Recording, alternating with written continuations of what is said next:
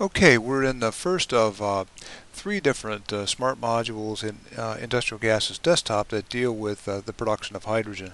And uh, first is by steam methane reforming, which is probably 90% uh, of the world's hydrogen is, is on-purpose made hydrogen is made by steam methane reforming.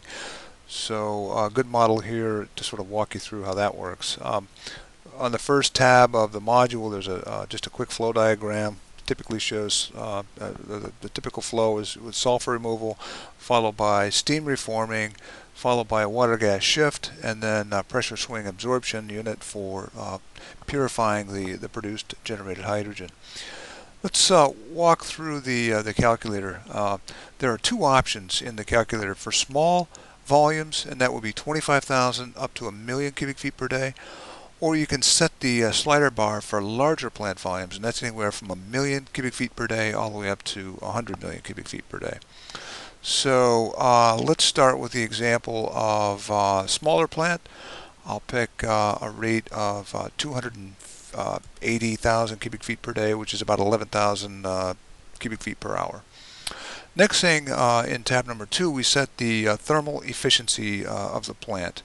And the efficiency calculation shown here, but basically it's the volume uh, times the higher heating value of hydrogen over the volume times the higher heating value of natural gas uh, times 100. So let's pick um, a rate of about 52% uh, in the efficiency area. And then let's choose a gas cost in item number three. Here we'll set a gas cost of about $5 per uh, thousand cubic feet of, uh, of natural gas. And then lastly, the uh, other operating cost items. These are the uh, electric, uh, or excuse me, uh, yeah, the, the, amounts for electric, labor, maintenance, insurance, water, everything except for capital recovery. and here I'll choose about 15, 15 cents, excuse me, about 12 cents per 100 cubic feet of additional cost items. Okay, so now we're set up and we can run the calculation uh, on this particular configuration. And we see that this plant makes about 284,000 a day, as we said. The uh, estimated cost is uh, 43 cents per 100 cubic feet. That doesn't include capital recovery. That's just the raw operating cost. Uh, and that equ uh, uh, equates to about $1,800 per ton of hydrogen. So I would encourage you to log into the uh, Gas Experts Forum to ask questions, share your thoughts, get more information if this is an area of interest.